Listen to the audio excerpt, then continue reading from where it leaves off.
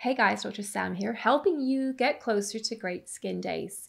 Today's topic is customization of your actives, which I think is particularly pertinent in winter, where day after day I'm seeing patients coming in with what I would call a dry, flaky muzzle zone. That's basically the skin around the mouth.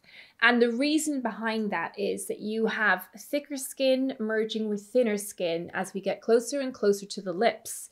But of course, that's also an area that's subject to stretching and straining over the course of the day as you eat and talk and kiss.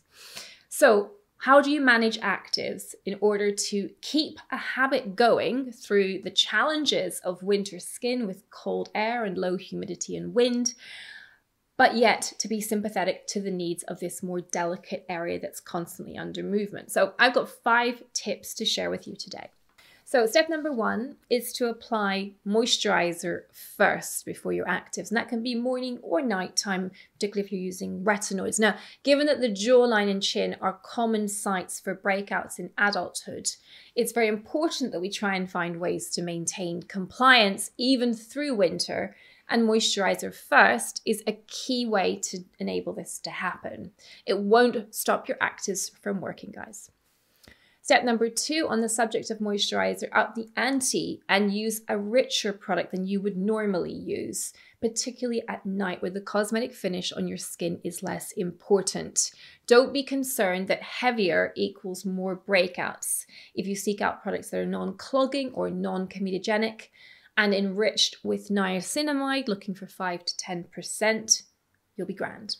Step number three is to tailor the dose of your active to suit the skin's needs. So if I was dry here, but I was my skin was normal or oily here, I might use the product straight out of the pot, neat, three dots, three dots, if we're kind of using my 13 dot technique. But for this area, I might take the product straight from the pot and mix it with an equal amount of bland moisturizer. It contains no actives to drop the strength by 50%. And that's a way to customize it so that it's gentler on your skin. Step number four, know when your skin needs a day off. It's completely acceptable to reduce the frequency of your actives down to an alternate day basis or even every third day, depending on how accepting it is of your actives regime. Final step is to simplify if you're still struggling. Too many people are using too many actives in rotation.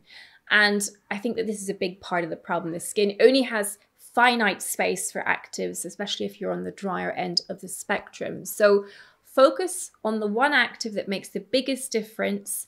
Finesse that before adding a second or even a third active in. It'll be so much simpler for you. So there you have it, my five top tips to customizing your actives at a time of year that can be quite challenging. As a final note, I would suggest backing off on makeup if you are experiencing dryness around the mouth. It just won't sit nicely. Better to leave your skin bare so you can moisturize through the day when you need to. So guys, I hope that was helpful. If it was, hit like and subscribe and I'll see you back here soon for more. Bye for now.